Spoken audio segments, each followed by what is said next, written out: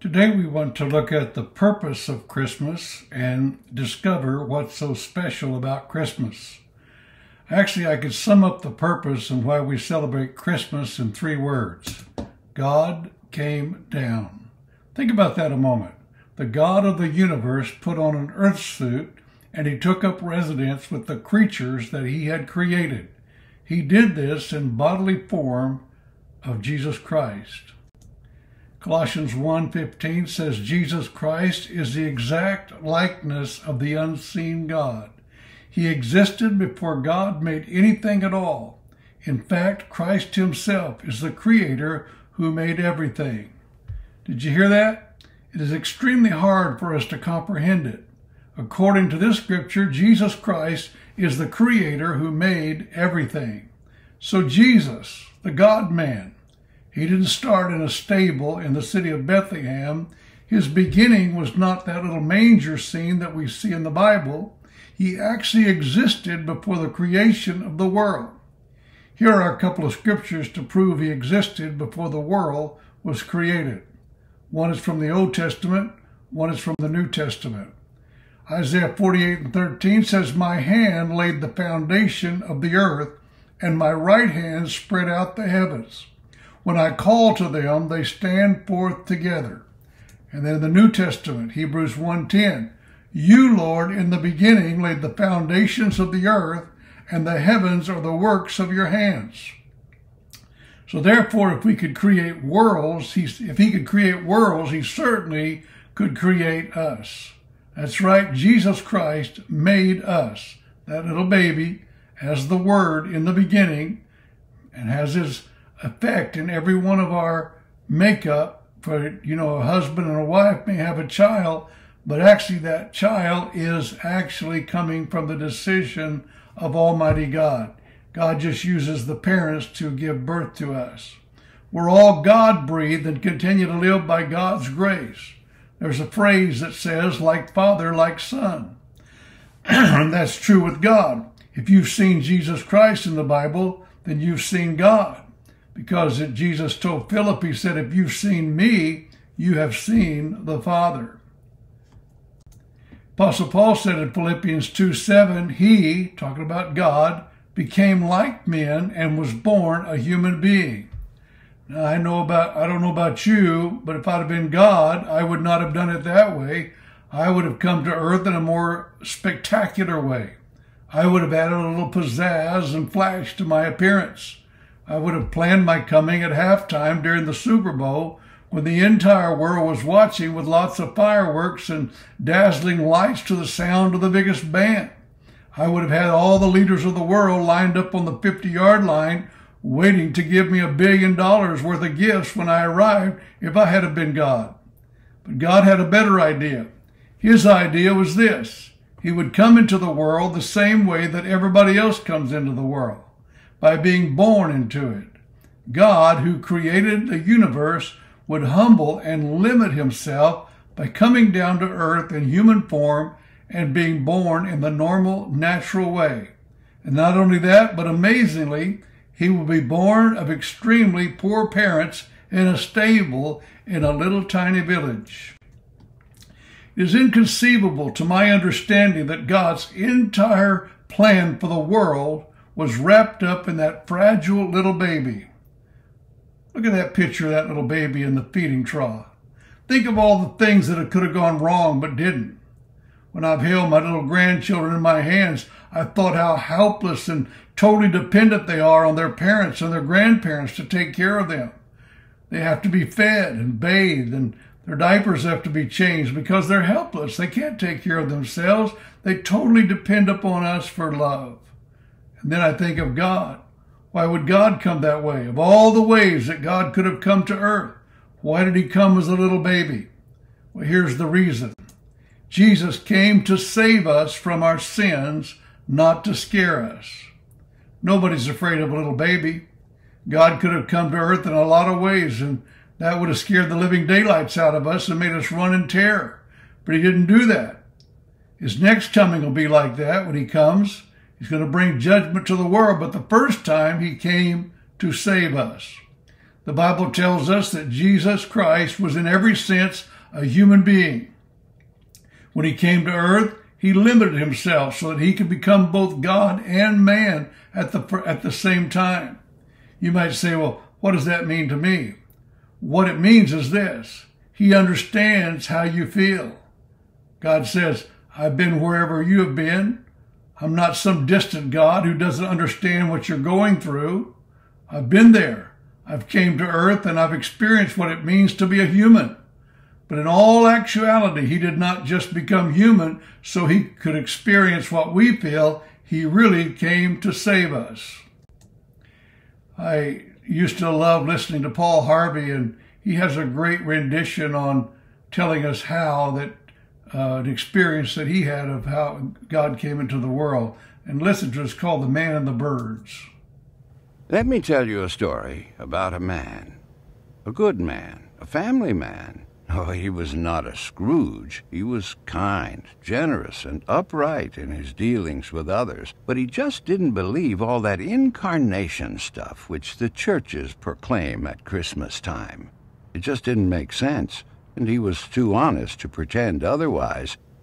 He just couldn't swallow the Jesus story about God coming to earth as a man I'm truly sorry to distress you, he told his wife, but I'm not going with you to church this Christmas Eve.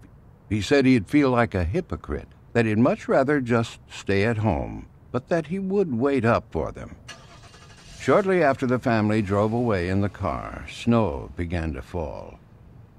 As he sat in his fireside chair and read the newspaper, he was startled by a thudding sound, and then another, and then another. At first he thought someone must be throwing snowballs against the house, but when he went to the front door to investigate, he found a flock of birds huddled miserably in the snow. They had been caught in the storm and, in a desperate search for shelter, had tried to fly through his living room window. Well, he couldn't let those poor creatures just lie there and freeze, so he remembered the barn where his children stabled their pony. Quickly he put on a coat and galoshes and tramped through the deepening snow to the barn. He opened the doors wide and turned on a light so the birds would know the way in. But the birds did not come in. He figured food would entice them, so he hurried back to the house, fetched breadcrumbs, and sprinkled them on the snow, making a trail to the yellow-lighted, wide-open doorway of the stable. But to his dismay, the birds ignored the breadcrumbs. He tried catching them. He tried shooing them into the barn by walking around them and waving his arms, but instead they scattered in every direction except into the warm, lighted barn. And then he realized they were afraid of him. To them, he reasoned, I'm a strange and terrifying creature. If only I could think of some way to let them know that they can trust me, that I'm not trying to hurt them, but to help them. But how? And he thought to himself, if only I could be a bird and talk to them and mingle with them and speak their language and tell them not to be afraid, then I could show them the way to the safe, warm barn. But I would have to be one of them so they could see and hear and understand. At that moment, the church bells began to ring. The sound reached his ears above the sounds of the wind, and he stood there, listening to the bells, pealing the glad tidings of Christmas. And he sank to his knees in the snow.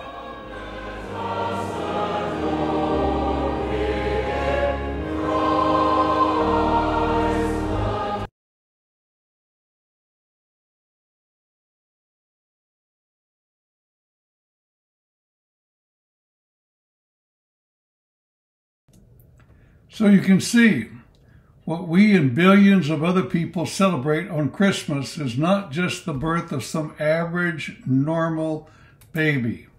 The baby that was born in Bethlehem's manger was God in human form. The blood that flowed in his veins was royal blood. It was the blood of God. Therefore, it was sinless. His blood came from his heavenly Father, the Holy Spirit. He was 100% human and he was also 100% divine. How? His mother Mary was human. His father was God. He was divine. So why did God come to earth? Well, God came to earth to show us what he was really like. There was a lot of there's a lot of stupid, crazy ideas about God that just not true. That's why God gave us the Bible, so we would have no questions as to who he was. The only thing some people know about God is what they see in nature. And it's true that you can go up into the mountains or you can go over to the coast or just outside and you can learn some things about God. For instance, by looking at nature, we can know that God is creative. By looking at nature, we know God is powerful. Obviously, the waves, the wind, the rotation of the earth, all the power of God that's seen in the universe. By looking at nature, we know that God is organized because there is order to the universe. By looking at nature, we know that God likes variety because there's a lot of variety in the world. We know that God likes beauty. Look at his creation in its pristine state. And we certainly know he has a sense of humor. All we have to do is look at one another. But the most important things that you can ever learn about God can only be found in knowing Jesus Christ. If you really want to know God, you will have to see him in the face of Jesus Christ, the Word. The Bible is how you see and get to know God. For instance, nature doesn't teach us that God is love. We only know that because of what we see in the Word. Nature doesn't teach us that God is forgiving. We only know because of Jesus Christ, the Word. Nature doesn't teach us that God has a plan for our lives, that we are not just an accident, that He put us on this earth for a purpose and for a reason. Only Jesus Christ can teach us that. Jesus is the only one that lets us know what God is really like. Secondly, God came to earth to show us what life should be like. He wanted to show us how to really live. One of the most famous statements that was ever made was made by Jesus, where he said, A thief is only there to steal and kill and destroy. But I came so that they have real and eternal life, more and better life than they ever dreamed of. Jesus didn't say, I've come to give you a religion or I've come to make you religious. He said, I have come to make you fully alive, to teach you the kind of life that God put you on this earth to live. And until you get connected with your Creator, you're not going to live that kind of life. The life that is full, the life that you only dreamed of having. You're just going to exist. Another reason that God came to earth was God came to earth to forgive everything we've ever done wrong so that we can go to a perfect place called heaven when we die. I don't know about you, but that's a wonderful feeling. 1 John 3 5 says, He became a man so that he could take away our sins. There's the purpose for Christmas. He became a man that he could take away our sins. Philippians 2 6, who being in the very nature God, did not consider equality with God something to be grasped, but made himself nothing, taking the very nature of a servant, being made in human likeness, and being found in appearance as a man, he humbled himself and became obedient to death, even the death on a cross.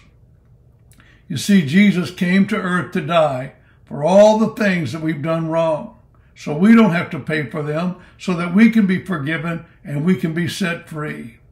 God sacrificed a lot to do this for us. He left his eternal throne, his home in glory, and then he limited himself and he became a human being. He put up with all the aches and the pains and the sufferings that we go through. Yet he was God. He gave up his life for our life.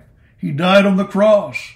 Jesus didn't stay in the manger. He grew up, he went to the cross, and he died for us.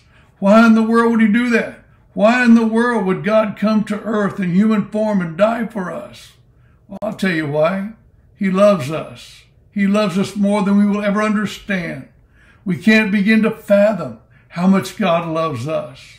Paul said in Ephesians, the love of God is incomprehensible. It surpasses our human knowledge. We cannot understand it because our brain isn't big enough. You trying to understand God's love is like an ant trying to understand us. They don't have the capacity. Neither do we have the capacity to understand God. No one will ever love us as much as God does. I love the old song that says, Could we with ink the ocean fill, and were the skies of parchment made, if every stalk on earth a quill, and every man a tribe by trade, to write the love of God above would drain the ocean dry, nor could the scroll contain the whole, though stretched from sky to sky. Praise God. 1 John 4 9. God showed how much He loves us by sending His only Son into the world so that we might have eternal life through Him. This is real love that God sent His Son as a sacrifice to take away our sins. The Bible says the greatest love a person can ever have is when they are willing to give their life for somebody else. John 15, 13, greater love has no man than this, than a man lay down his life for his friends. And Jesus Christ laid down his life for you when you were not his friend. Why did he do it? I'm going to tell you why. He took a chance, a chance that he could convince you during your lifetime to be his friend. He started the process, and now it's up to us to complete it. He's our friend before we ever knew him. But now that we do, it's time for us to be his friend. Back before we ever knew him, before we were ever born, when we were going the opposite direction, headed in the wrong way, God still gave his life for us. Romans 5 7 For one would hardly die for a righteous man, though perhaps for a good man someone would dare even to die. But God demonstrates his love toward us in that while we were yet sinners, Christ died for us. That's wonderful. Jesus is the reason for the season.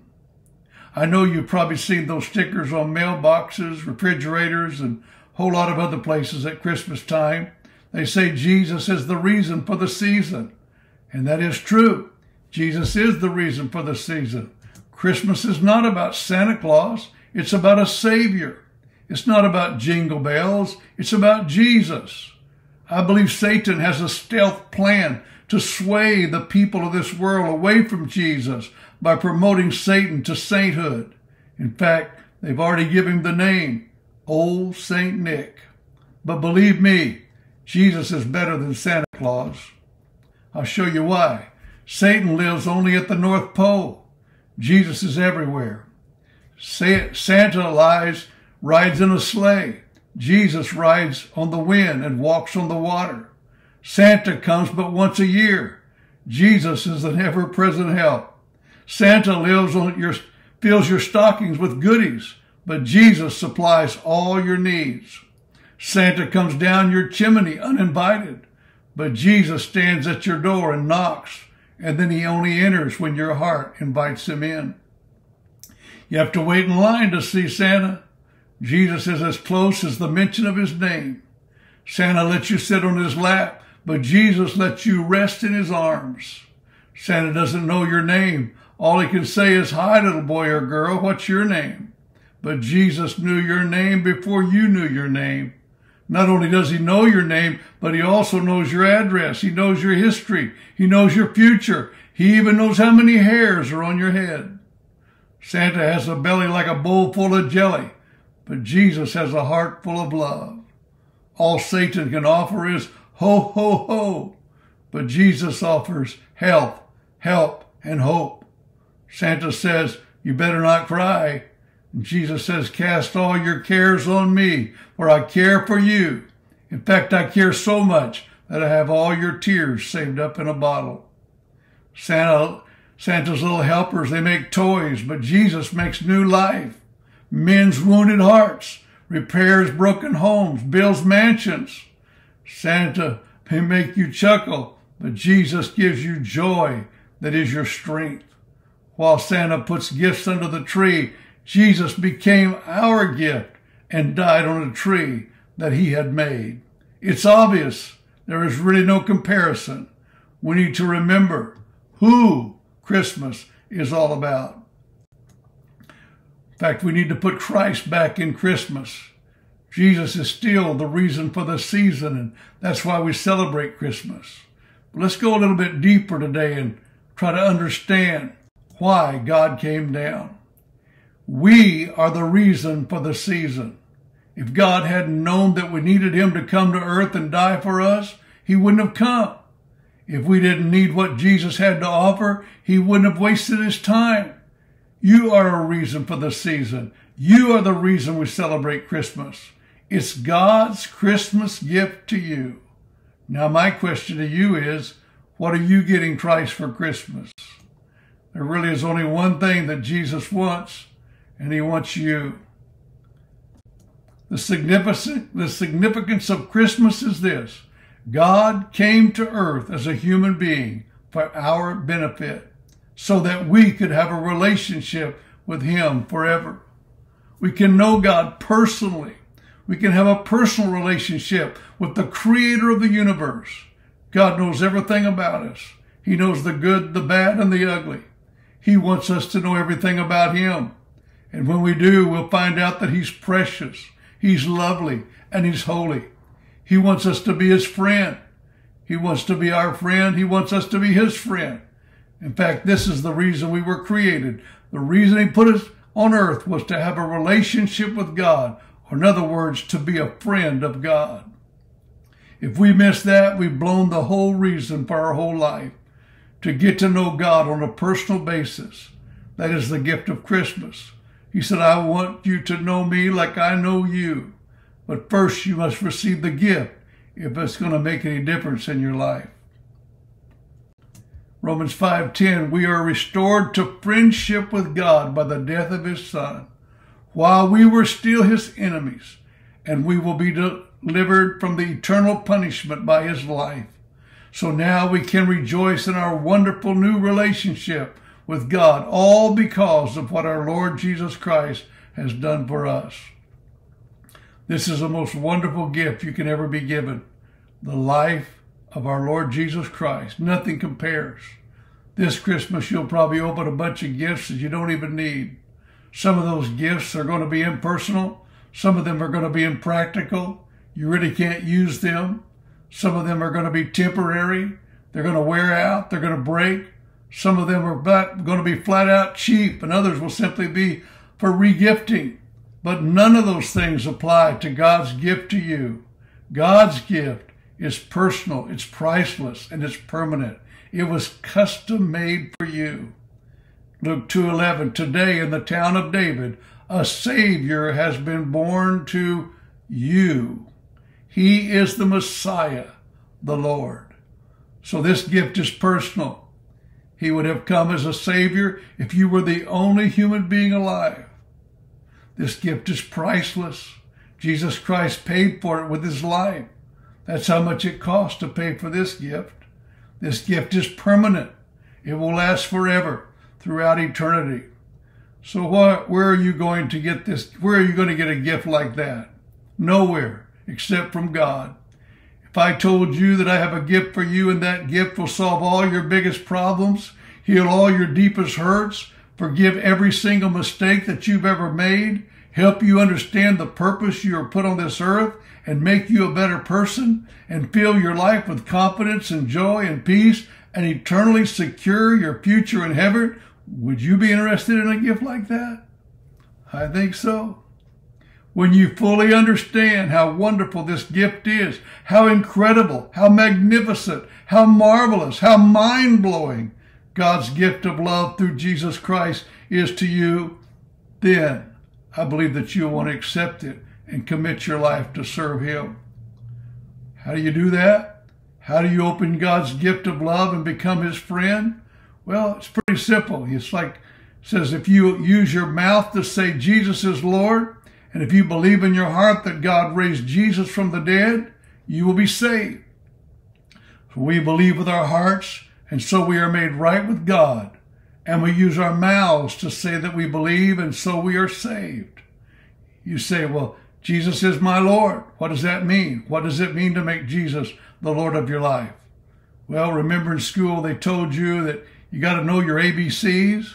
Well, knowing Christ is as simple as knowing your ABCs. A, admit that He is God and you're not. B, believe that He loves you and give Him control over your life. When He's in control, He can take even the bad things in your life and turn them around and bring out the good in them and let Him be the one that tells, gives you the, the instructions on what you should do in your life. And then commit to Him the rest of your life to follow His plan and do what He wants you to do. Every once in a while, you will be going down the street and you'll see a sign out in front of a store, and the sign will say, under new management. That's what it means to be a follower of Christ. You put out a new sign that says, I'm under new management. Jesus Christ is now the manager of my life. He is the Lord. He's calling the shots. I'm not calling the shots anymore. He made me. He loves me. He knows what's best, so I'm going to follow His plan that I was put on this earth to do. Why should I do that? Well, two reasons. One, He made me. And number two, He loved me enough to come and die for me and take away all my sins. Nobody else ever did that for me. I think I owe my life to Him.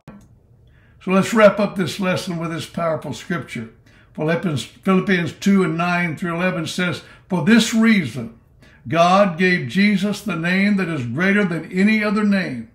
One day all beings in heaven and on earth and in the world below will fall on their knees and all will openly proclaim that Jesus Christ is Lord to the glory of God. I think that scripture is remarkable. You probably never thought of it this way before, but God sent Jesus Christ, the one and only Son, to not only save us, but to bring glory to himself. Even the Father, the Son, and the Holy Spirit glory and glorify God, the creator of everything. Don't you think we should get in on that? We should all be glorifying God with praise and worship. How do you do that? Well, the Bible says the true worshipers will worship the Father in spirit and truth, for the Father seeks such to be his worshipers. Occasionally you'll hear people say, What is this world coming to? Well, I'll tell you what it's coming to. It's coming to an end very soon. I don't know when, but it's going to end. And the Bible says that one day everybody that's ever lived is going to stand before God on the day of accountability, on the day of reckoning, the day of judgment. And everyone will be there. Every nation, every ethnic group, every language, every religion, Every age group, every person who has ever lived will be there. And the Bible says that every knee will bow and everyone there is going to openly admit what has been the truth for centuries and for eternity and that Jesus is Lord. It will be too late for some people, but everyone's going to admit that Jesus is Lord. Every politician is going to be there. Every businessman will be there. Every rock star, every athlete, every homemaker, Entrepreneurs are going to be there on their knees saying Jesus is Lord. We're all going to admit it, admit it one day.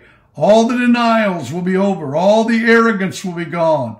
Adolf Hitler will be in that crowd. He'll be on his knees saying Jesus is Lord. Karl Marx will be there with all the billions of others on their knees saying Jesus is Lord. Every president, every king, everyone, everybody. I think I've been pretty much included everyone, is going to be there saying Jesus is Lord. Think about this for a moment. God gave up his only begotten Son rather than give up on humanity. Grace cost nothing for the recipients, but everything for the giver. God's grace is not some grandfatherly display of niceness. It costs the exorbitant price of Calvary. There's only one real law of the heavenly, and that is everything there in the heavens must be holy. God demands holiness. The opposite of holiness is sin, and therefore sin demands justice. Because God is holy, and nothing unholy shall ever please God or go to heaven. Sin cannot enter heaven. Sin and rebellion must be paid for. It may be fulfilled either by way of judgment or by the way of grace, but it must be paid for one way or the other. God, in his unfathomable wisdom, found a way to justify the demands for holiness. He came down to earth in bodily form. He accepted the judgment in his own body. Jesus Christ fulfilled the law of justice when he cried out on the cross, It is finished or paid in full. God found a way to forgive. God found a way to remove our Adamic sin. And God found a way to allow us into his heaven. The issue is not whether we are going to admit that Jesus is Lord, because we're all going to admit it. The issue is not if, it's a matter of when. Either now or later. Either you admit it now and accept his gift of love, or later admit it in regret as you face your judgment. So why would you wait? Why would you not accept that love, that kind of love, that kind of purpose that God has created you for, and say this Christmas, I want to make Jesus Christ the Lord of my life. I want to make this the merriest Christmas that I've ever, very, ever experienced. God bless you. We love you. We hope we've been a blessing to you this Christmas. God bless you.